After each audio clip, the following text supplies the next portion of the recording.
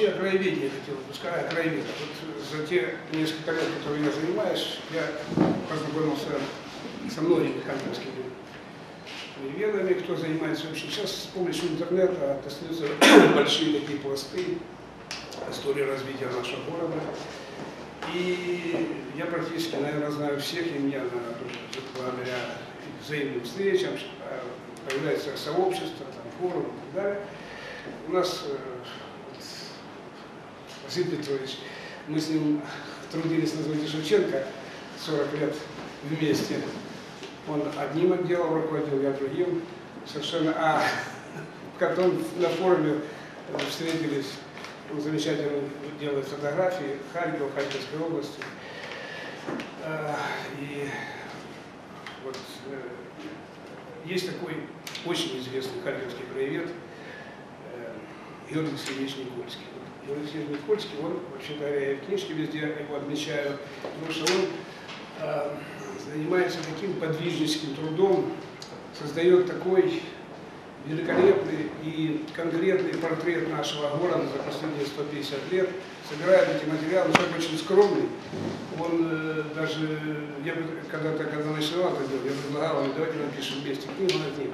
Ты пиши, и твое.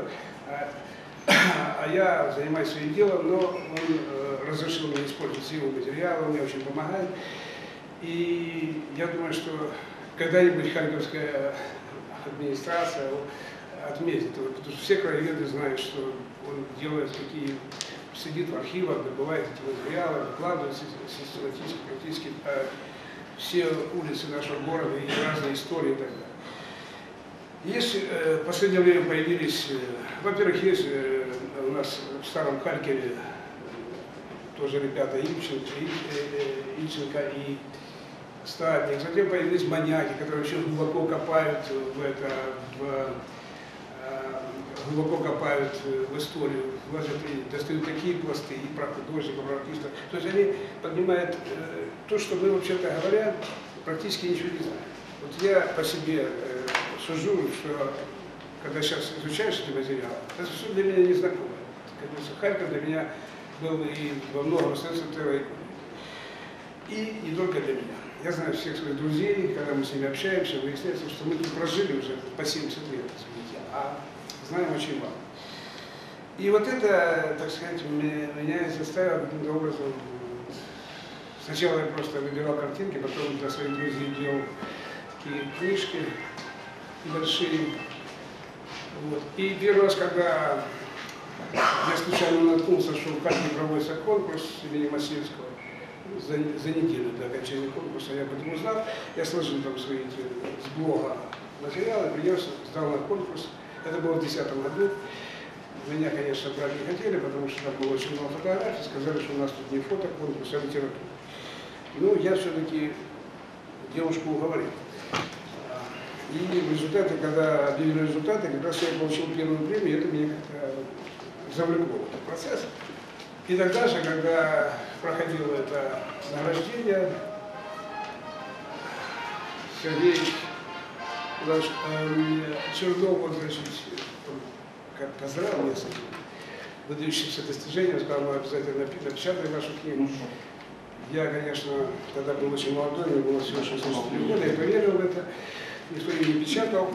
Поэтому, когда прошло несколько лет, я решил еще раз. Ну как, там получил дело случая. Я в 2013 году э, вместе с администрацией Октябрьского района они мне предложили сделать выставку к Дню города. Скорее я им предложил, но они, им очень понравилась эта идея.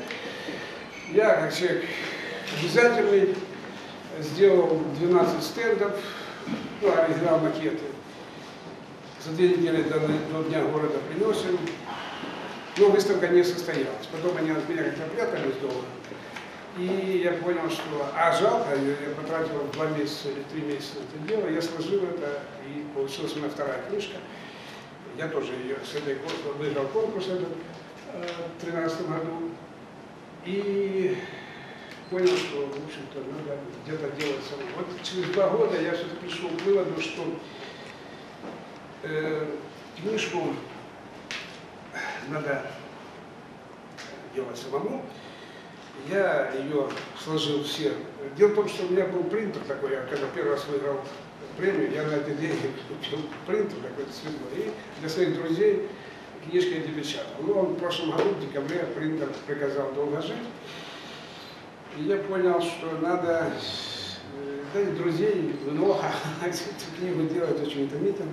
Поэтому э, я обратился в издательство САГА, они мне сказали, что не могут, короче, они э, предложили рядом там издательство «Факт», там замечательная Людмила Николаевна, она, это, ей сразу книга понравилась, и мы напечатали. Оказалось, что процесс очень простой.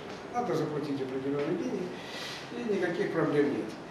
Она выпущена э, в авторской редакции, эта книга, и я, как, так как у меня все-таки инженерный опыт работы, я всю жизнь занимался какими-то инженерными проектами, поэтому я вместо введения написал пояснительную записку, чтобы каждый, кто возьмет книгу, он понял, вообще, что это за документ.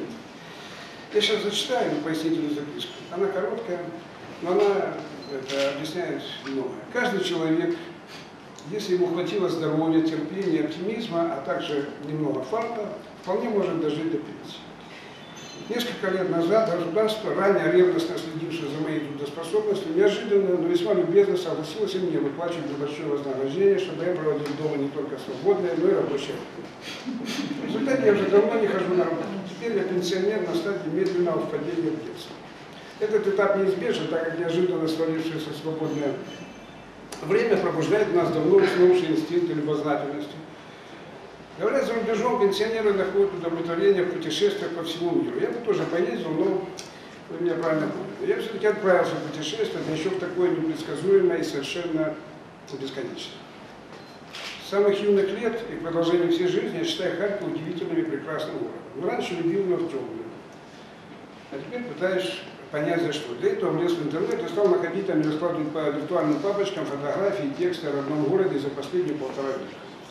Изучая собранные материалы, понял, город знаю очень поверхностно, это меня завело и погнало в прогулки по Харькову с единственной целью выяснить, в каком, собственно, городе я прожил столько времени и за что я был такой влюблен. Весь цикл прогулок, сколько их будет, даже не загадываю, объединил общим названием «Путешествие в провинциальную столицу». Почему? Объясняю в самой э, первой прогулке в Бонне. Особых охотников издавать мои очерки не обнаружилось, да и я не особо зацикливался на этом. Но любимая жена как-то сказала, что такие вот она тут что Гениальное творение издают обычно, когда автор удаляется в мир иной. Мне стало обидно, она увидит бы. Насчет гениальности она, конечно, загнула, тем более, что ни одной строчки из моих творений никогда не читала. Вообще уверена, что эти мои занятия плохо скрываемые форму уверения от работы по дому, кое всегда в избытке, а в частном секторе особенно. Может, она и права, как всегда. А теперь о книге. Мне часто говорят, что уже очень много не фотографий. Они действительно больше 800 фотографий. Я же, собственно, Э, я же, наоборот, еще бы сотни-две добавил, еще, еще. У кого из моих земляков сверстников не еблет сердце от этого вида? Э, трамвайная пробка, полуторка военных лет, лошадка из времен НЭПа, еще не снесенная дореволюционная баня, четыре совершенно одинаковых киоска, а других и не было, вдоль набережной. И все вместе отпечаток из нашей давно ушедшей, но такой незабываемой юности. Так и складывал я свои рассказы, разглядывая часами фотографии из своего виртуального архива. Очень благодарен всем, кто публикует в сети фотографии Харькова разных лет и комментарии к ним. Свою задачу вижу только в попытке сложить выбранные материалы в сколь-нибудь увлекательный рассказ о нашем городе. Ну, я уже говорил, особо благодарен Егору Алексеевичу Никольскому за теплый отзыв моей работы и, главное, за его фотографии с, комментариями о Харькове, который в Творческом союзе истории Балакинцем регулярно публикует на своем видеоэкзамене.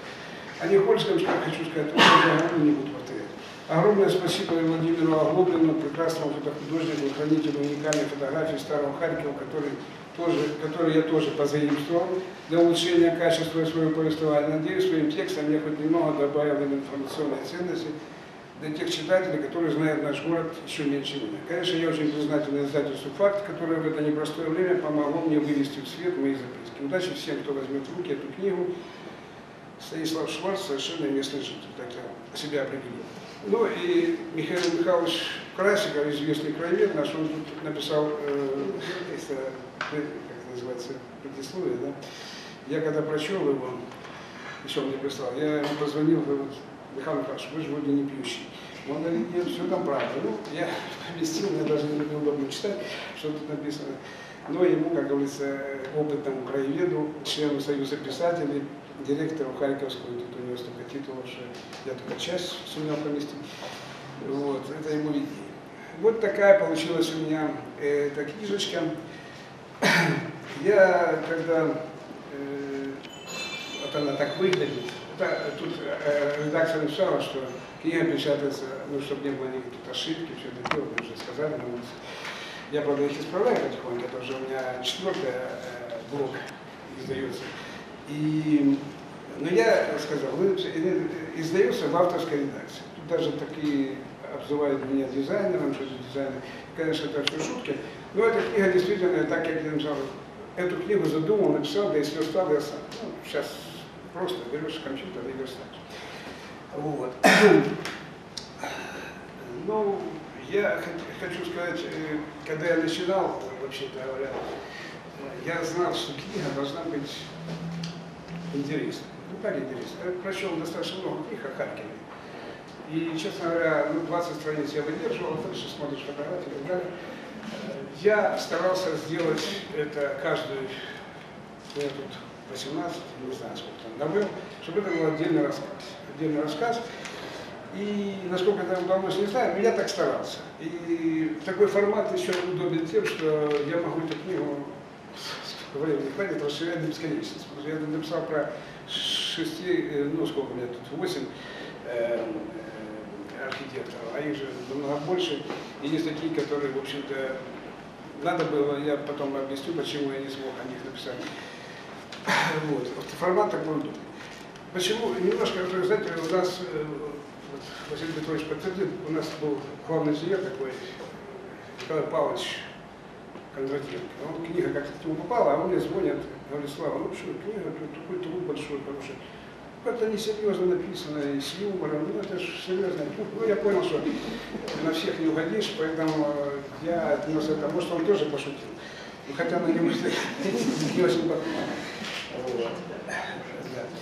Но юмор, э, тут очень много смешных моментов. Это то, что э, я никаких э, вещей никогда не заимствую. До свидания. Э, никогда не заимствую. И поэтому то, что мне попадалось в жизнь, я некоторые моменты, которые можно привязать э, к, э, к, значит, к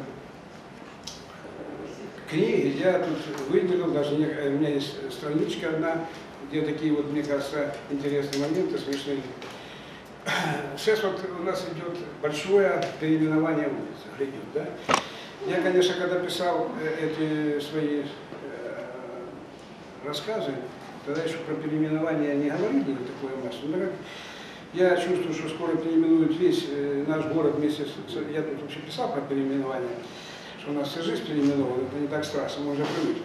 Но вот э, по ходу дела хотел бы сказать, как вообще может переименоваться улица просто так, без э, участия административных органов. Есть на Холодной горе улица Стефанцова.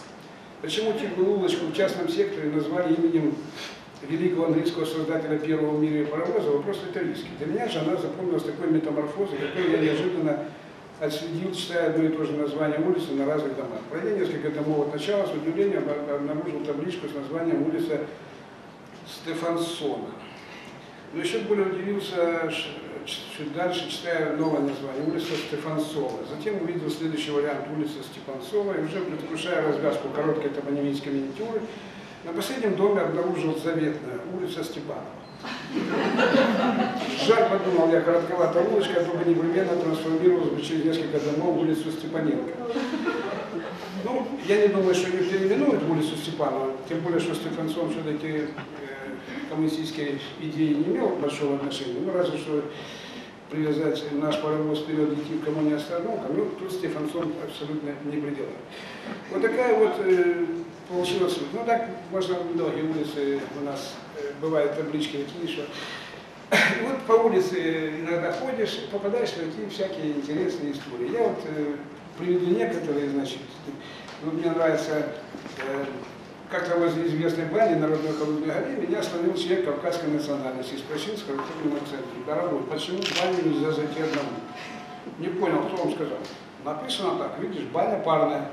Второе слово произнес ударение на Нет, дорогой, там написано баня парная, ответил я почти на его родном языке и уверенно сделал ударение на слово. Спасибо, так значит можно и одному демократично не очень к месту ловли. Иди ты в баню, сказала я затащила. А вот такой вот чисто бытовой, значит, на базаре, в базаре всегда что-то диалог между покупателем, продавцом. И вот некоторые диалоги, они действительно, получается, я пишу один из них, я люблю на углях приготовить куриные голени, теперь это называется на французский манер барбекю. По привычке покупаю исходный продукт на рынке у одной симпатичной продавщицы и всегда с ней перешучиваюсь. И в этот раз попросил я, мне, как обычно, 10 ножек, и, как всегда, только правых, ничего не подозревает, пошутил. Продавщица, одарив меня милейшей улыбкой, входящей, как я уже давно понял, и смирился в стоимость продукта, сообщила зачем-то, сегодня правая особенно хороши. Спасибо, красавица, расплачиваюсь, отхожу. Но не тут-то было. Стоявшая за мной женщина вдруг резко заявила, а нам что, достанутся одни левые? Это несправедливо. Я протестую. Мне из них ничего не крупного не выходит. А правые всегда достаются таким, как этот. Я сколько шаг это. Ну, бывает просто короткий момент. Знаете, я когда-то ехал в командировку, еще когда работал, захожу в вагон, ну, уже поезд тронулся, я как раз прямо с работы, и спрашиваю проводника, а вы не знаете, у вас тут ресторан вагон или буфет есть. Ну, так посмотрел, вполне может. И что, я, я пошел, да, нашел такие, был очень удивлен, я расскажу своим проводникам тоже. А или в трамвае, я ехал в трамвае, это давно было, конечно. И э, подходит парень, встает с своего места, подходит ко мне, почему-то ко мне, и спрашивает, который час? Я говорю, без 22, пора выходить. Вот такая вот спокойная, пора выходить, такой актуальный, пунктуальный человек, который молодой, не знаю, что это там. Э, да. Ну и такие вот э, случаи бывают, э, знаете, э, как-то на вот, Лидой, наша добрая знакомая, мы как-то, ну я ехал, они были на даче, а я ехал к ним, зашел в электричку на Ливане, там мужчина продает газеты, и подходит женщина, что такое мужчина, что продаете газеты недельной давности? Я просто, а что такое? Вы читали «Войну и мир»? Она, конечно, соврала, что читала, да когда ее написала, до сих пор читаю. Я к чему это говорю? Знаете, вот, я недавно наткнулся на, э, в интернете, есть бойся, обязательно что-нибудь наскочишь, нажешь, уже нет. Э, Карцев рассказывает про Одессу, он там все рассказывает, что Одесса это особый город, у них юмор там. Я согласен, конечно, Одесса ну, сейчас уже не такая особая в связи с тем, что там большая иммиграция, иммиграция. Вот. Но тем не менее он рассказывает эти байки, но Одессе повезло. Одесса, во-первых, море, туда всегда приезжали романтично, и не только романтично, но и писатели, композиторы и так далее. Они воспевали не столько саму Одессу, сколько воспевали этот и даже когда, вот, разговор, когда фильм идет Одессу, ну там что, обязательно надо ставить одесский город. Сейчас уже, может, его нет, а может, еще остался. Но это придает такой колорит, и этот город поэтому выделяется. Я, для меня, я понимаю, что Харьков это Харьков, а Одесса Одесса, но для меня всегда, э, так как я не хочу говорить слово патриот, э, потому что не хочется выглядеть главным патриотом этой жизни. Вот, поэтому я скажу, что я просто очень люблю город и всегда отстаиваю его всегда, когда еще раньше, когда ездил в командировки, там всегда встречались людей, всегда доказывал, хотя тогда я вообще ничего не знал о нем, но всегда доказывал, что город уникальный, совершенно неповторимый. А потом, когда почитал все это дело, оно так и есть. Так и, наверное, и другие города так и есть, но надо город показать. Вот э, город показать, предъявить, сделать из него, так сказать, фишку из всего города. Поэтому я, э, я просто мечтаю, что когда-нибудь может появится большая книга о Харькове, где, э, ну я за себя не говорю, а вполне и поталантливые люди напишут такую книгу, которая действительно ее будет читать везде и с большим удовольствием. А я просто пытаюсь это недаром, вот, вы знаете, я э, как-то я когда себя дома раскладываю свою базу данных, а база данных у меня большая, я ее делаю как, опять-таки, по инженерному, у меня по улицам, по домам, все разложено, по именам, по архитекторам. И я начал смотреть, у меня есть такая э, где, э, Харьковщина. Я начинаю смотреть, я их не знаю. И я-то, может, и кого-то знаю, кого-то слышал, но мало кто знает, что, допустим, там Евгений Мамут, значит, лауреат, э, Оскаровский лауреат, он уехал, когда-то делал фильмы еще в КПИ, да. Оказывается, Михаил Водяной, одессит, родился в Харькове. Еще один одессит, Марк Бернес, тоже с детства до самой э, взрослого прожил в Харькове. Совершенно необыкновенный в своем этом вот Игорь Гудерман, тоже наш человек. И я еще обращал внимание, что вот если брать какие-то, вот возьмешь фамилию, и смотришь, он какой-то уникальный. Вот актеры, много же народных артистов, а есть всенародные артисты. Вот скажем, если, ну, Шуженко все знают, если бы она даже не была народной артисткой, но она совершенно неповторимая, уникальная, так же, как наша Люся Гурченко. И, и потом натыкаясь где-то в Ройсе, вдруг выясняется, что Йозеф Шиллингер, который, окажется, был учителем Гершвина, Миллера и Гуртона, великих джазменов, родился на улице на Шляпном переулке, а папа у него был, держал магазинчик по продаже шляп. Ну, сынок пошел по другому пути, а для меня это осталось, я понял, что такое слово «дело в шляпе». Я прочитал, и, и начинаешь, и та, та же Ида Рубишей, может, ее больше знает, но как-то она у нас тут не сильно представлена, она же тоже совершенно уникальная, вот такая угловатая вся, высокая такая, а выдающаяся оказалась э, там знают, у нас не знают. Так же, как у нас не знают Брайловского художника, Леви художника. Мы знаем, что у нас был Лепин, и то не у нас, а рядом. Но, но еще там там есть, которых мы знаем хорошо, там Васильковский и так далее. А, но, или Юрий Кнорозов. Ну, кто знает такую личность? Это же выдающийся человек, гениальный. Он считается одним из самых гениальных ученых э, 20 века. Он э, никогда не был в Мексике, он разгадал письмена майя. Они не смогли разгадать там э, их предки, потомки. А во всем мире занимались этим делом. Он, сидя э, не в Харькове, а в Питере в библиотеке, э, разгадал это дело. И вот такой, кто его знает. А там страшно знаменит. Потом и у нас ему дали, ну, у нас всегда будет потом. Вот. Или Михаил Гулевич. Это уже, как говорится, ближе к инженерным делам, но все знают МИГи. Что такое буква Г, это Гулевич. Знают, что Микоян это МИГи. А Гулевич это Гулевич. А там, кто больше из них сделал, просто Микоян у него родственники другие были, а Гулевича происхождение другое. Поэтому он второй. Слава Богу, хоть э, написали. Ну и можно перечислять долго, долго, долго. И там Александр Винклер, оказывается, был такой у нас музыкант, он учитель Прокофьева. И вот это все, э, я как раз, когда задумаю следующий день, я хочу как-то сделать такую прогулку, привязанную к, именно э, к этим именам. Потому что, конечно, в этой своей тоже не обошел, ну, где натыкался на какие-то знаки, но все-таки здесь больше э, по архитекторам и так далее, а такая прогулка, наверное, была бы интересна. И еще, вот когда работаешь на такой, приходят всякие эти, всякие идеи в голову, ну, голова неправильно устроена, понятно, но в принципе они приходят и начинают тебе морочить эту голову, а ты, значит, появляются такие мысли. Вот я еще помню, когда я только первую книжку, первый рассказ писал про пациентов, я написал там много вещей, которые потом оправдались, сказать.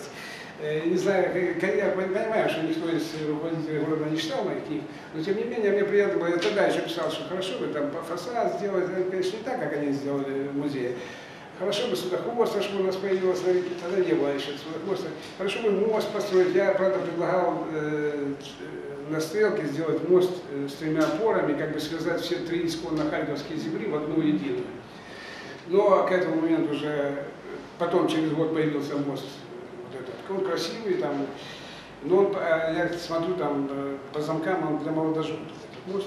А тот бы мост, он бы связывал все три и там бы какую-нибудь такую пирамидку, и, в общем, это было красиво. Ну, правда, там сейчас и так красиво, без моста, но с мостом было лучше. Ну и по реке, конечно, вопросов много, потому что река, которая есть, вот во многих городах в Европе такие маленькие реки, они являются украшением города. А у нас тут центр сделали, сразу как все изменило, а чуть дальше там с украшением плохо. Вот. И еще кое-какие, э, то есть сейчас вы меня оставите, буду говорить.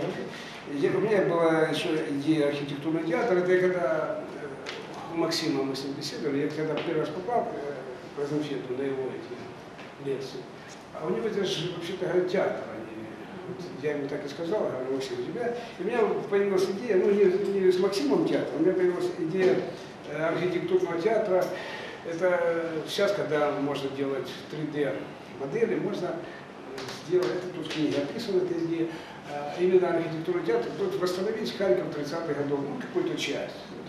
Совершенно мы не представляем, какая была площадь, скажем, которая сейчас называется Пролетарская, когда она еще была Сергиевская, потом она превратилась в сквере Пролетарской площади. Она была совсем другой, там, она была вся застроена, сейчас там ничего нет, там пустыня. А это же интересно. Это, скажем, площадь, э, как ее, Конституции. Она же и очень изменилась, ну, практически там очень э, мало что осталось. А была, стояло дворянское собрание, стоял там собор, никак не могу успокоиться. Зачем-то его снесли трамвай, и трамвай теперь снесли, а собора нет. А, это было потрясающее совершенно сооружение, совсем другой вид был у площади. Она и сейчас, конечно, считает, что площадь Конституции самая красивая в Харькове, но тем не менее, жар, и посмотреть, какая она была, это очень было бы интересно. Ну, есть еще тут э, другие проекты, не буду его забивать. да. Ну, собственно говоря, тут, давайте перейдем к самой книжке, я рассказываю потому что это э, я прошу, да, вот э, сейчас я сяду, потому что надо двигать. Ну, эту картинку видели. Первый, первый, значит, э, первый рассказ, который, который э, это сначала я расскажу немножко э, вот, вот эта фотография, которую года два назад Оглоблин выбросил из своих фондов, она меня как-то задела, я даже написал, что она меня подвигнула к тому, чтобы написать эту вторую книгу, потому что э, она уникальна. Хотя, казалось бы, ну что тут, это, Боговеченский базар. Боговеченский базар, вот это пересекает, идет к реке э, переулок, тогда Мартвиновский, сейчас это э, Кравцова. Ну, сейчас того, что там уже ничего нет, там лет 30 назад начали строить бассейн 100-метровый, до сих пор строят, ну, уже до сих пор его и не строят, но он заслоняет все это весь этот пейзаж. Интересен тем, что вот тут вот коровки пасутся, там, где сейчас базар, они ничего не подозревают, что пастись уже недолго осталось. И вот эти вот, и хорошо видно, значит, э, там холодная гора, даже виден, э, там виден этот э, тюремный замок, видна церковь. Я почему на меня тронул это фотография? Потому что э, прошло это, собственно, 130 лет. Вот этих домов, которые я хорошо помню, уже нет. Лысая гора, лысая, там теперь. То есть она как бы, там еще церковь, которая была на Мурановой, тоже уже нет, но она как бы связывает 130-летний э, промежуток во что-то единое. И она меня, э, так сказать, так и дергала. Или вот этот э, снимок, тоже это поведение, вот тут это, это начало Клочковской, вид на Покровский э, монастырь, часовня, которую зачем-то снесли. И вот бабушка, я прикинул, бабушка э, родилась еще при Пушкине. А вот она идет на базар, видимо, за продуктами. И тут, э, или вот этот вид, мне тоже очень нравится, это вид с Харьковского моста на, э, на набережную Харьковскую. Ну, здесь, собственно говоря, остался только вот это большое здание, больше тут ничего не осталось. Дальше, да, там дальше это еще. Дом на горе тоже живой. Ну, я имею в виду по набережной. На горе, да, да. Ну вот э, видна э, кирха, видна, которую э, немецкое вторжение выдержало, а наша нет. Ее снесли, значит, она, по-моему, значительно красивее, чем то здание, которое сейчас стоит. Ну, это немножко тут крепость, вот так выглядела Харьковская крепость. Ну, это, конечно, такая инсталляция, ну, наверное, близкая к реальности. Вот это первый верх, это остров, который, я его называю в книге «Первый микрорайон наш», а вот это уже крепость, которая э, стояла, где сейчас весь наш центр.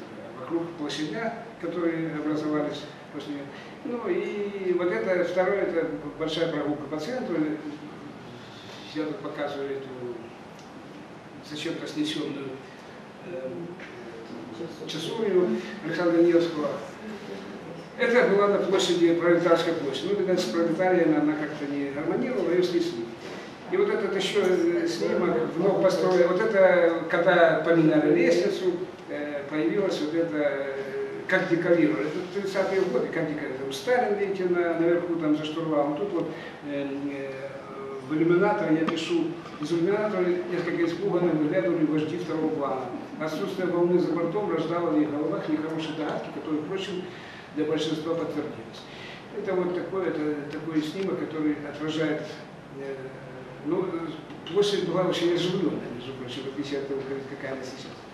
Ну и вот это здание, это панорама голов, это э, тот ряд, который стоял на берегу, э, назывался фруктовый ряд э, Бикетовский. Здесь было полотно, изображавшее знаменитый сюжет Голгофа. И такой тоже снимок живой, вот такой. Здесь, кстати, виден, вот это здесь виден э, мост, э, Конторский, который перед войной мы недавно дискутировали на эту тему. Я считаю, что он перед войной исчез. Некоторые не, не согласны, но он действительно исчез, потому что после войны появился, до, до войны еще появился вот в другом направлении немножко э, мимо дома Павлова. Ну и вот такой снимок, который я тут э, вспоминаю, что у нас было судоходство в Харькове. Судоходство было до войны. Конечно, сейчас уже никто не помнит его. И, честно говоря, я отца своего спрашивал, когда он еще живой был, там у меня 12 года, но он как-то не, не смог вспомнить. Потому что, э, видимо, оно было все-таки вот с, той стороны, по реке Харьков. Но было, было это судоходство, потому что из этого судоходства у нас э, снесли весь фруктовый ряд на площади, э, на Пролетарской площади, чтобы сделать вот эту знаменитую нашу пристань, которая сейчас там, ну, главная пристань. Потом после уже, значит, появился путь «Ласточка», которая сгорела, она работала кафешкой и сгорела 1 апреля 2005 года. И вот этот снимок мне очень нравится. Вот он, это снимок 50-х годов, людям э, постарше меня, и вот еще дом строится уродливый, который э, с ювелирным магазином. Но это уже все. Тут нет ни одного ряда. Из четырех э, торговых рядов не осталось ни одного. Два снесли до войны, два снесли полуразрушенных после войны. Хотя по фотографиям я думаю, что вот этот, особенно Сергиевский, можно было не сносить. Но не мне видать. И э, после этого я перехожу там на площадь, э, узнаете, да, это площадь, э, как она называется сейчас, Павловская. Павловская площадь. Тут все описывают, куда все подевалось. Это все совсем другие дома. Тут сейчас этих домов нет. Нет. Хотя контурно она, вот она, это еще до трамвайная эпоха, даже, наверное, может быть, ну да, до трамвайной, конки уже ходили. А вот она уже с трамваем, она так симпатичная. Ну, здесь уже появились два этих больших дома там в конце э, Астория и да, то есть это красивая клуба, намного красивее, чем сейчас. Там она забетонированный э, наша незалежность. Вот э, такая она была живая, красивая. Видите, сколько тут народу бродила. Трамвай ходил сюда, трамвай ходил сюда на... Да, вот здесь мне хотелось показать эту нашу речку, вот стрелка, вот мост, еще один мост, который исчез, вот этот цыганский мост, по которому ходил, э, сначала ходила конка э, до 19 -го года, а затем э, ходил трамвай. Но он исчез, трамвай потом, вы помните, он после войны начал ходить уже после, через Рыбный мост. И вот этот дом, вот я хочу описал, что это был, такой был проект этого дома, где вот э, напротив Нерма. Но так случилось, что как раз совпало, что Сталин умер, и э, началась большая борьба с излишествами, но вот это излишество убрали, и дом стал совершенно безликим и неинтересным. Ну вот так, так выглядел в момент, э, когда в 25 году нашего Нерма. Просто пристроили к магазину Зингер, пристроили вот это здание, потом его переделывали, переделывали, но оно так внутри там и есть, это здание, тем не менее. А вот это уже площадь Конституции. Площадь Конституции, это еще, это старый снимок 1800, наверное, 80 -го года, еще нету биржи, еще нету конки, еще нет вообще ничего из того, что сейчас есть, кроме того, что вот стоит вот этот дом, дом, который с, э, на поворот Московский проспект, он еще не, достроен, не надстроенный на два этажа. Это дом, который построил Данилов, а потом его перестроил Михайловский. Ну, когда был по Михайловскому. А вот это все, ничего этого не осталось. Вот, это- вот здесь был сейчас дом со шпилем, здесь дворец Труда, здесь расход. И вот это уже площадь э, в 20-е годы, биржа, замечательная красавица. Биржа, э, гениальное произведение Михайловского, э, который, я потом скажу, какое у меня отношение к нему и вообще к его архитектуре. Так вот, э, вот эту биржу, так как в трамвай надо было, он трамвай ходил сбоку, туда-сюда, с той стороны. И решили по центру проложить, ну, биржу, естественно, снесли. Ну, у нас под трамвай много попало, вы знаете. И вот, в частности, это биржа. Такой вот в стиле совершенно не, не, не- не похожий на остальные здания нашего города. Ну и вот это, то, что я говорил, э, снос Николаевского собора на площади, вот так его снесли, вот так он выглядел, вот так вот, неплохо, да? Вот так он выглядел, и это был, в общем-то, главный наш собор. Его, в три- э, по-моему, в 30-м году грохнули до 4 утра. Ну, его долго взрывали, там не, не так просто. Э, Так что это... И, а рядом стояла замечательная гостиница «Красная». Она, конечно, красная стала после революции, до этого она называлась «Метрополь», по-моему. Метрополь. Да.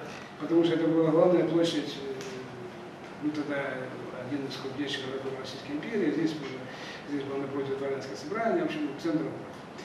Потом еще один снимок, который возвращает нас до, это дворец пионера, который раньше был дворянским собранием, и который, как я вот смотрел, в принципе, тоже, наверное, снесли после войны, он стоял, не было крыш. У меня с этим домом связана одна история, э, ну, с ним, конечно, у меня не могло быть связано никаких историй, что я после войны родился.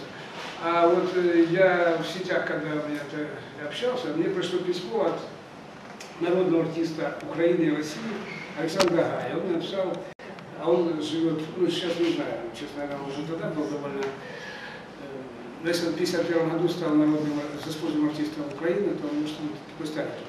Написал, что вот вы не написали, что почему взорвали это, а так, оказывается, целая история. Он говорит, я когда, а он во многих фильмах советских играл Дзержинского.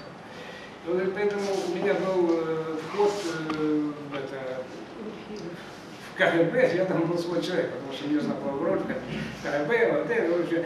И я, э, а так как я жил в доме на Рымовской 6, в знаменитом доме Шепшевского, а, и я ходил в этот дворец. И Историю я знаю, почему, как его взорвали. Его взорвали наши. Наши взорвали, э, ну не весь дом, там был кинотеатр, и должны были офицеры, немецкие, естественно, они должны были смотреть какое-то кино. И а наша вот эта группа Старикова, по-моему, они, значит, э, уже все туда заложили. Вот. А, а потом кино отменили. А, ну а со Стариковым уже не согласовали этот вопрос. А он грохнул его, и все. И, собственно, можно было не взрывать, толку-то с этого никакого не было.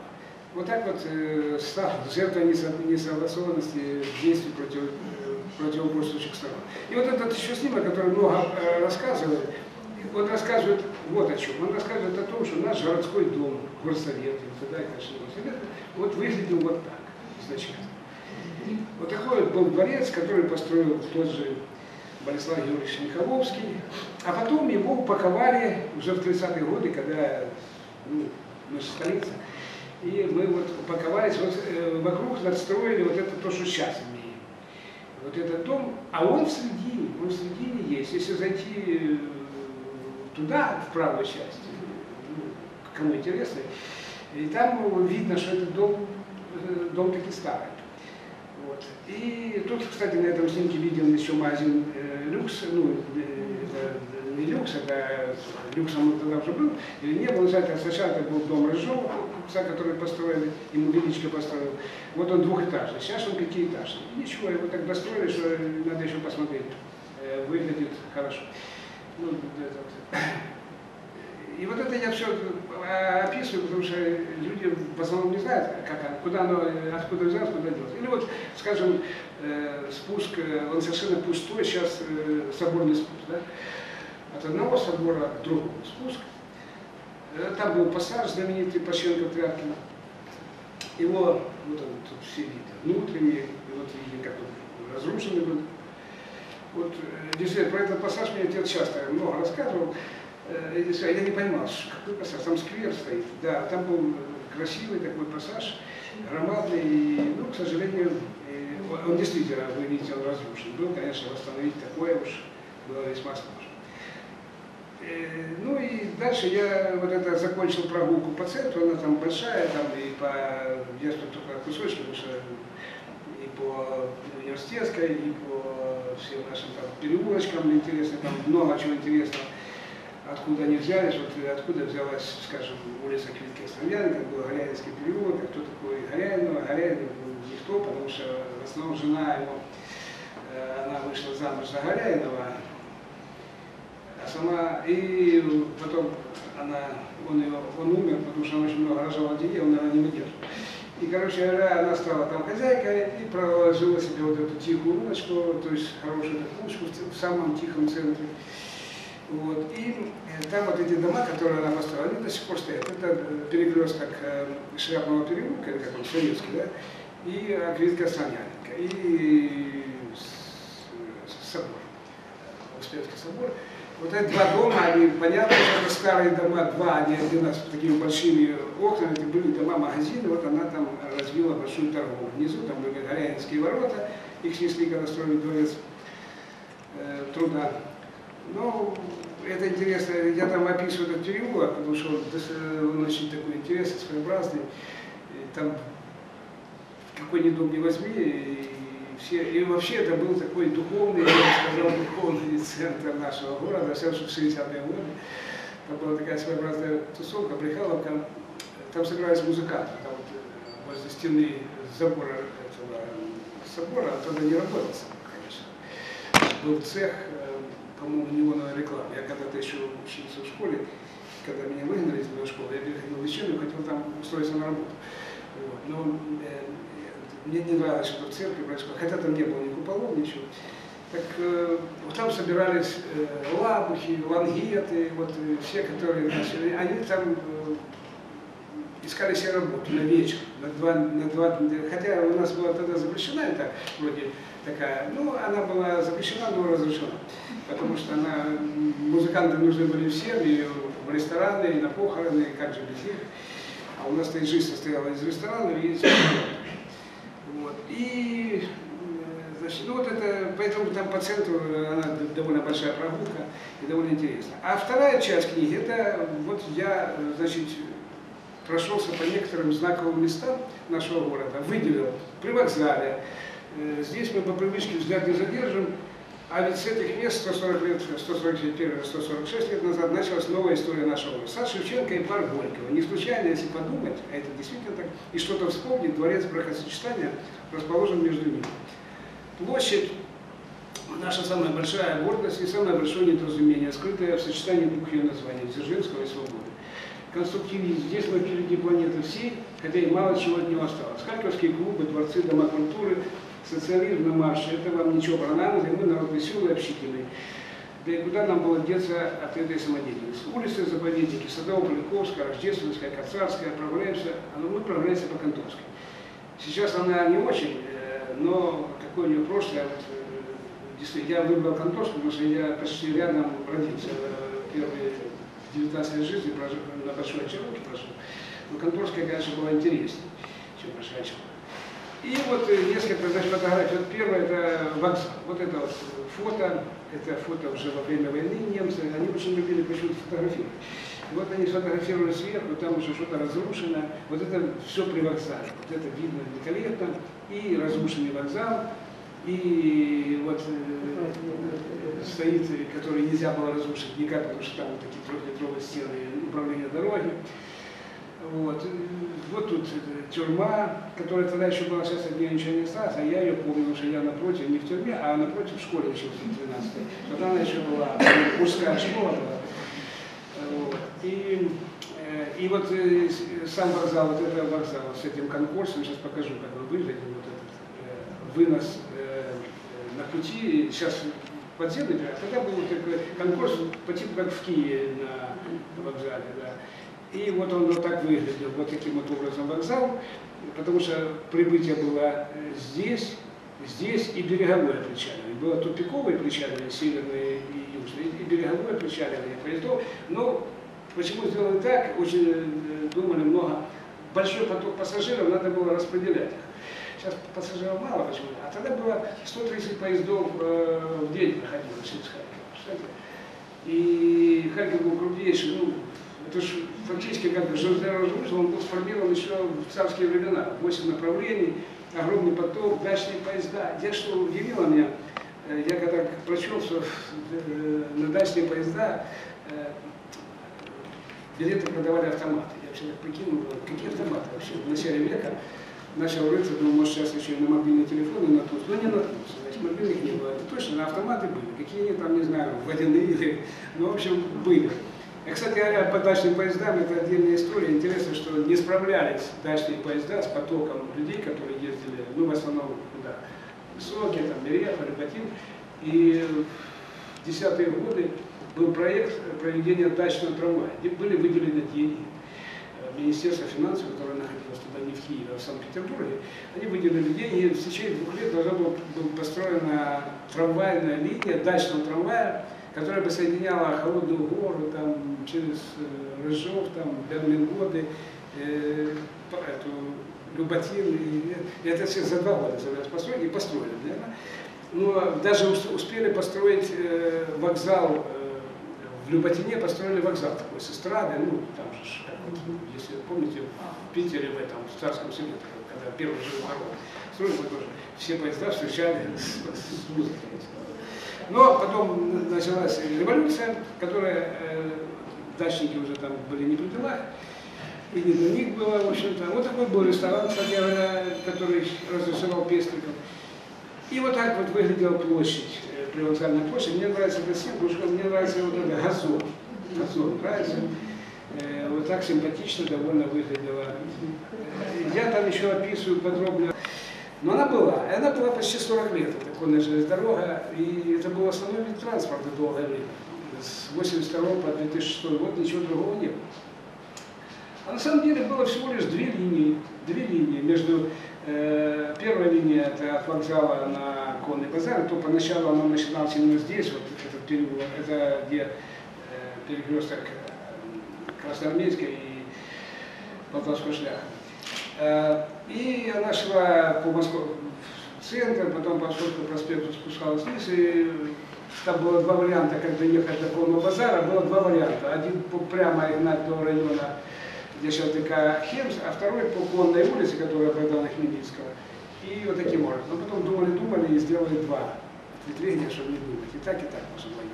Вот поэтому я считаю, что было там полторы линии, а вторая линия была, э, ну сейчас я дойду, я сейчас по этой первой проеду, немножко проскочу. Вот это э, до э, улица Полтавский шлях, до, тогда Екатеринославская, естественно, до, до прокладки еще трамвая, э, конной железной дороги.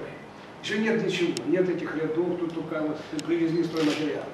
Но зато, э, зато можно узнать кое-что. Можно узнать, что вот этот дом на месте стоит, немножко там изуродовали его. Это дом э, э, Кузина. Этот, этот дом, это, вот это был клин-городок, первый клин-городок в Харькове, потом он отсюда переехал на саму дачу.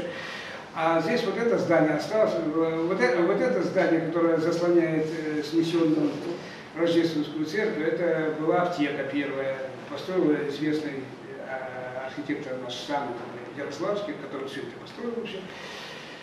Вот. Ну и собор, конечно, э, он неудачно стоял он на перекрестке улицы Рождественской и Конторской. Ну, потом Рождественскую переименовали в Энгельс, а Конторскую Красный Октябрь, ну где же там собор на таком перекрестке, естественно, снесли. Хотя улица долго называлась Рождественская все время, ну, сейчас, наверное, опять переименуют обратно.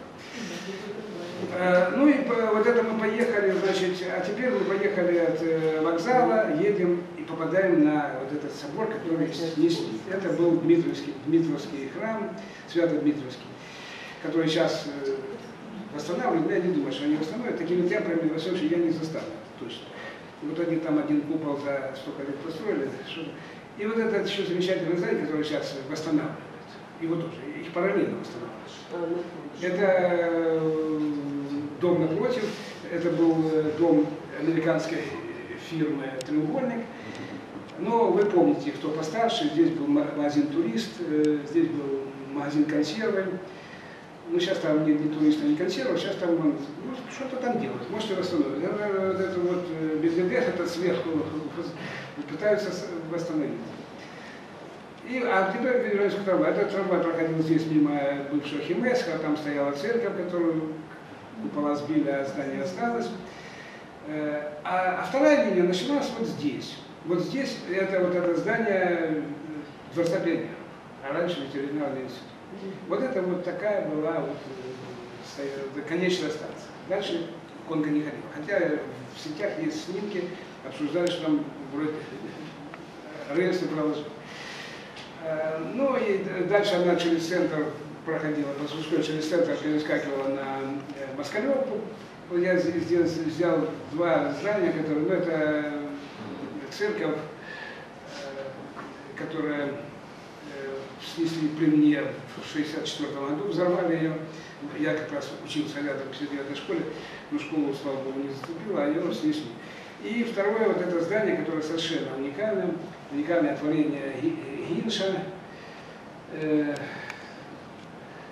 Это поликлиника, была первая глазная клиника Гиршмана. Вообще это здание, конечно, не для этого строили, там давно построили его. Но вот оно было такое красивое. Сейчас оно существует, но только вот этого всего нет. То есть оно есть, но без всяких башен.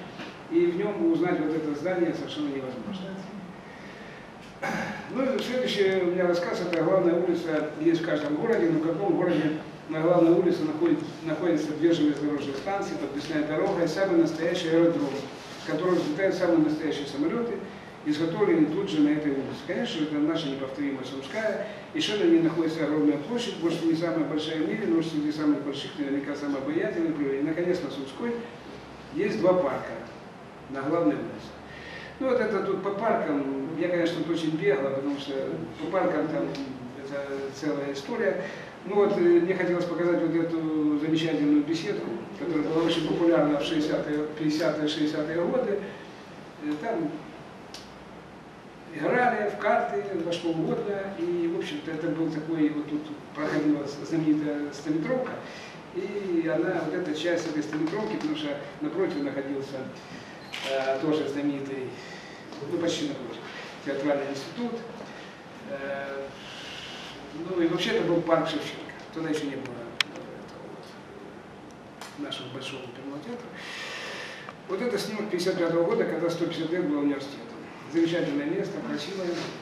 Правда, тут, конечно, есть другие недостатки. Ну и вот здесь, э, что за, э, какой фасад был у сада Шевченко? Он состоял из э, дома Купеческого собрания, вот здесь, потом здесь был деловой клуб, это самый угол Рыманской и Сумской. Дальше рядом с ним стоял дом Рубинштейна, который построил Бекетовой, который очень похож, кстати говоря, на библиотеку Короленко, я это тоже отметил, может, не надо было, и который был похож не только на этот дом, но еще на один дом Бекетова, который построил э, на Губернаторской, но там он уже вот так обстроили, что там не было дома.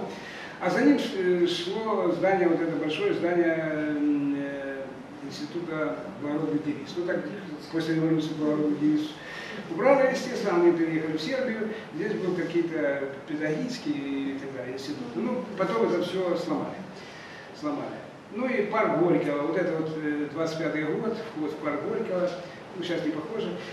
Вот, я здесь отметил одну вещь, мне просто было интересно отследить клумбу. Э, отследить клумбу, клумба, которая начиналась вот таким вот образом, довольно безликой, потом появился вот такой агитатор, потом появились вожди, Потом вождь решил, что ему хватит одного. Потом появился Горький, когда вождя не стало, а Горький, а потом Белочка. Вот я тут и написал. Народ подумал, что его вернули Горького, вернули на капли, оказалось, что за что на его месте появилась Белочка. Конечно, невоспитанные люди тут же начали искать причинно-следственную связь между Горьким с маленькой и Белочкой. Не верьте, это все глупости. Ну и, конечно, не мог обойти стадион «Динамо», который примыкает, примыкает э, и к парку который тогда был э, как я его помню, 60-е годы, еще 50-е. Это была, э, там кипела жизнь, там были прекрасные э, трек, прекрасный бассейн, дворец спорта Динамо, это дворец спорта, стадион Динамо. Но этого ничего нет, э, трек там восстановлен вроде бы как-то, но жизни там пока нет. А жаль. Ну и следующий рассказ это о конструктивизме, ну это где мы находимся. Вот это наш замечательный Газпром. Вид вот этот мне очень нравится, этот вид, и еще больше нравится вот этот. Это тоже немцы снимали, естественно. Вот здесь э, здание университета, оно, оно совершенно не похоже на то, которое сейчас. Оно было построено в том же стиле, в котором был построен Газпром. Ну, это неудивительно, потому что э, Серафимов строил то и другое. Первое он с двумя ребятами, а второе с женой построили. Вот такое здание. Но, к сожалению, после войны его переделали уже в стиле сталинского ампира. Потом там вообще был проект с башней наверху. Вот здесь должна была быть башня. Потом, когда башню отменили, он остался без башни. И еще одно здание, которое здесь на площади тоже имеет отношение к конструктивизму, это вот это здание, это, это, это, так выглядело э, наше э, земство до революции. После э, революции его обстроили, ну как у нас было принято. Ну, обстроили этим конструктивизмом. Я написал, что он удивился Адольф Борисович Минкус, архитектор из славной Одессы, такой коллизии с его, случившейся с его детищем, а заодно и лучше бы э, понял смысл чисто одесской фразы о двух больших разниц. Тут она как раз очень хорошо видна. Ну, по конструктивизму еще несколько примеров. Значит, во-первых, непонятно, почему в стиле конструктивизма, которого основной лозунг был это жизнеутверждение новых идей, построили крематорий, это трудно понять. Потому что значительно проще это отнести к э, гиганту, да, это молодежь. Вот тоже после войны изуродовали эти все эти пилоны, там это все это исчезло. Может, студенты разъяснили, но все же этого нет, конечно. И вот это здание, которого нет, но которое могло бы конкурировать с «Газпромом» по, так сказать, по значимости архитектуры нашего города, это театр э, массовых зрелищ Весняна, если братьев Весняных. Проект был сумасшедший, ну тогда еще Харьков был столица, если бы не уехал, а ну что сделали? Это было сумасшедшее здание, ну сейчас там ничего нет, это стеклянная струя, а вот здесь вот стоит новая э, церковь. И так должен был выглядеть ДК в том варианте, как он был спроектирован. Потом опять его изменили уже подначали. Ну, еще один раздел это клубы. Клубы я тут не мог обойти. Э, клубы не мог обойти. Это вот, я почему поместил это здание, потому что, ну, кто его помнит, я его помню хорошо, уже опять же учился рядом в школе. Одно название чего стоит. Клуб, театр, Харчеслак. Словечко такое. Вот. И, значит, э, вот это, к сожалению, ничего. Он там внутри есть, там ничего не нормально. Но построили новый фасад и ужасно. Ну и здесь вот по клубам, конечно, что интересно. Тогда надо было всех людей в клуб, потому что за народом надо было следить, присматривать. Поэтому открывались клубы, где легко было собирать людей, и там это мозги промывать. Ну, милиционеры себе приватизировали вот этот вот, он до сих пор декан, это дом Алчевских. А э, дом Гофмана и Дойля, который построил э, знаменитый Гинцман, его отдали э, этим ребятам софторслужащим, получили себе подарок вот такой, по той же схеме, как и чекисты. Но вот меня интересует вот это здание, это, это молельня, четвертая молельня еврейская на углу Подольского и, ну, кстати, на Подольском переулке если узнаете, она такая была красивая. Ну, я написал, что по настоятельным просьбам трудящихся преобразовали в клуб кустарей. А чтобы кустарям, среди которых евреи имелись в немалом количестве, не вздумалось хотя бы по субботам использовать здание по, по старому назначению, его внутренний и наружный декор просто уничтожили. Ну, разницу заметили. Тут в книге разница есть, это я тут не поместил, там действительно большая разница. Ну и, конечно же, синагога, ее же тоже куда должна была пристроить. И в 27 году главная синагога тогдашней столицы Украины была полностью э, показательно отобрана у верующих по требованию еврейского пролетариата. Что та еще братва еврейский пролетариат, я себе представляю, и как они требовали, чтобы это... Ну и да, и там образовали еврейский рабочий клуб имени Третьего интернационала. Я слова как не могу соединить что что было еврейский рабочий клуб имени Третьего интернационала. Ну, трудно понять. Ну, было такое смешное. Ну вот еще два клуба ДК связи, которые вот так выглядел, ну сейчас он тоже так не выглядит. И вот совсем уж э, ДК строителей, которые очень трудно узнать в том здании, которое э, сейчас есть. А там он на месте, там он внутри находится. И, И по Конторской улице. Контор- Конторская улица э, хороша чем? Она тихая такая, э, она как-то в стороне. И там очень все сохранилось на уровне, наверное, 19 века еще. Большинство домов. И, и что интересно, что улица-то в том 19 веке, она была одной из таких э, ключевых улиц города. На ней очень много о чем начиналось.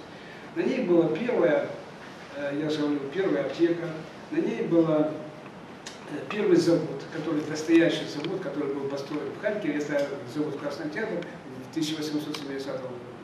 На ней было открыто э, чуть позже, в 1973 году, построенное м, Михайловским здание, э, открыта первая конфетная фабрика. Не, не та, которая мы считаем, а та именно, а первая была открыта. Она называлась фабрика, Кромский был владелец, она фабрика Кромского, но в 25 году приехала до Крупска, и конфеты понравились, и переименовали. Ну, Кромский, Крупская, она созвучна, поэтому э, никто особо там не догадался. Думаю, что это просто фамилию поменяли у, у Кромского, а Кромского уже нет. Вот это, сейчас эта фабрика исчезла, она там стоит разваленная, к сожалению. Ну, на ней можно кино снимать какое-нибудь. Вот это, и на ней же была первая скорая помощь. Первый водопровод в Харькове на улице Конторской открывался. Э, На ней, э, она еще славна тем, что на ней э, э, засветились четыре наши выдающиеся женщины, землячки, это Шульженко, э, э, Дудинская и Бугримова, они в танцевальной школе у Дудинской старшей обучались, вот там на Конторской в седьмом номере. Дом стоит, но вот они три народные артистки, действительно народные, по-настоящему народные, знаменитые. А, И ну, балериной, правда, стала одна Дудинская, ну ей так положено, дочка. А уже э, одна стала знаменитой э, укротительницей, ну а Шуженко ну и э, по конторской. И дальше э, последняя глава, это, это уже по этим, по э, архитекторам. Я тут пробежался по архитекторам, буквально начал э, Ярославский Василий начал, но они действительно начинали. Они вдвоем сочинили, и исполнили увертюру замечательной архитектурной симфонии. Ну, интересно, что дома, которые они построили 200 лет назад, они существуют. Вот дом вот этот, э, Провианский склад на Провианской переулке, ну, на площади поэзии, да, там его все время переделывают, но он не приточен. Вот этот дом, к сожалению, на Клочковской зачем-то снесли. Да, вот здесь вот это колокольня, это он не дожил, да, но это он проектировал Васильев. Дворянское собрание в первом варианте его, вот вся эта, э, где кинотеатр «Юность». Но они так эстафетой. Он- Они разницу в 20 лет. Ярославский начинал, Василий продолжал, а заканчивал Тон. Тон это наш. Он э, работал в Харькове, это брат того Тона, который построил в Москве э, собор э, Христа Спасителя. Э, по- После Василия университетской улицы спустя почти век взялся перестраивать Виктор Величко. Вот Величко, Виктор Валерьянович Величко, такой оригинальный, он был архитектор учебного, корпуса, учебного округа университета. Ну, вот э, такие здания, вот это здание на университетской, вот это на Тринтера, где музей природы, вот это стоял дом, где сейчас э, ничего нет, это лестница возле гостиницы, и управа. Ну, у него очень много зданий, я тут просто показываю земскую управу, которая э, была на Московском проспекте. И дальше у нас работал такой замечательный архитектор, он родился в Дании, Гинш. Э, у него в основном двухэтажные дома были, ну, самый такой изве- заметный, это вот этот дом э, Диалюкс, был когда-то ресторан, ну, тут еще несколько зданий, которые, вот это здание, которое говорил, на- и тут дома, э, ну, дома тут э, Автомола, Гиршмана, да, вот он этот дом, потом, ну, в общем, Генфериха дом. Ну, и следующий еще один не наш человек, Юрий Семенович Сауны, который э, понастроил у нас такие совершенно уникальные дома. Ну, начнем с того, что он построил дом, замок на Девичьей улице, на улице Девченко. Потом на Сумской известный, тут еще вместо Шевченко временно указывает дорогу. И вот человек Карасин, ну и вот это дома, которые это еврейский э, малый театр э, на набережной, который э, разрушен во время. И, ну и, конечно же, Жорж Пешевский. Я написал, что сейчас, когда так э, стремятся в Европе, а сто лет назад один приезжий архитектор взял и построил ее прямо у нас дома. А что вы хотите, он почти объяснит. Александр Шепишевский прорубил в Европу нашему. Он построил сумасшедшие дома в Харькове за пять лет. Это что-то невероятное. Вот эти все дома, это не все, он 20 с лишним домов построил, все заметны. Ну вот эти, на, возьмите дома на, на, Чеботарской, ой, на Энгельса, напротив собора, тут вообще. И вот, так- вот такие дома, это все его, наверное, как типовые. К сожалению, была первая революция наступила, и он должен был эмигрировать, но вот доехал до Крыма, а там встретил девушку и вернул, поехал с ней в Москву. Роковая женщина оказалась, и через 10 лет он с ней помер, ну, она живая осталась, а он уже ничего не строил, вместо того, чтобы э, уехать. А его, как говорится, побратим, с которым они проектировали, строили вот эту э, гостиницу «Астория», Василий, он уехал в Нью-Йорк и стал главным архитектором этого небольшого города в Америке. Ну и еще Гинзбург, который я считаю совершенно уникальный. Я написал инженер, архитектор, бизнесмен. Вот он, это их дом, вот э, здесь он начинал, вернулся, когда из, он получил несколько видов образования, был инженер и архитектор. Он понастроил в Харькове очень много. Причем он строил много, и не только в Харькове. На Сумской у него только 8 домов. Настроенных, перестроенных. Вот это вот великолепный э, Александр. И нам, да, и еще несколько домов на Мельникова. Очень продуктивный был он, и жил после э, революции, и даже пережил войну, но после войны начал заниматься еврейской общиной, нашел чем заниматься, естественно. Ну вот самый его вот этот дом, который, э, вы знаете, Пушкинский дом, красавец. Ну и, конечно же, Корниенко, печальная судьба его, вот он э, совершенно уникальная. И у него печальная судьба его домой. Это театр Москомедия, это вот эта гостиница, вот это музей, который уже в наше время перекрасили, переделали. Э, Ну, в общем, не повезло. Он, э, он еще кое-что, конечно, построил, но как-то ему, ему не везло. Он построил еще, по-моему, синагогу, э, вот эту на, на Кравцова. Но из нее тоже силного я не получил. Ну и Борислав Михайловский, который был городским инженером 30 с лишним лет, 70-го до начала века. Как раз когда Харьков становился городом, когда проводили канализацию, электричество, это, все, э, отопление, и он это все, за все это отвечал. Он был городской голова, строил мосты, ямы рыл, канализацию, все дело, и еще строил прекрасные дома. Только на площади э, Советской Украины, ой, Конституции, он построил я же, городской дом, дом, где шоколадница, там, э, где сейчас институт искусств, братский дом, биржу, которую снесли вначале. Он построил дом, где э, в начале Сумской на углу, это где был ресторан театральный, это все он построил. И он построил э, он построил еще э, на Гоголя построил э, костел. И, в общем, и женскую гимназию на, на Фейербахе, на костях которых теперь стоит построили химии. Это все он. И что интересно, э, что интересно, в возрасте 78 лет решил для себя в марте следующего года уйти на покой, он обратился с прошением городскому э, голове Погорелко о выходе в отставку и назначении пенсии. Оставаясь верным себе, закончил свое обращение фразой «Наконец, относительно просимой мне пенсии, считая не лишним заметить, что вследствие расстроенного здоровья и преклонных лет обременять городскую кассу, по всей вероятности, придется очень недолго». И не обременил. 22 марта 1909 года Александр Георгиевич э, не стал. Получается, он все про себя. Вообще, Вот такие были люди странные. Ну и Бекета, я даже не буду говорить ничего про Бекета, потому что Бекета, когда говорят Харьков, это Бекета, половина его домов, все их знают. Просто я показал вот этот домик, который исчез, это на, э, где ряды. И вот два его неосуществленных проекта, это электрокорпус КПИ, он потом сделал другой проект, который сейчас существует. И вот этот проект, это дом техники, который должен был быть вот там вот напротив дома быта, но его, его не сделали. Ну, я уже не буду больше говорить, тут еще одно, потому что я думаю, что уже все устали от моего ползания.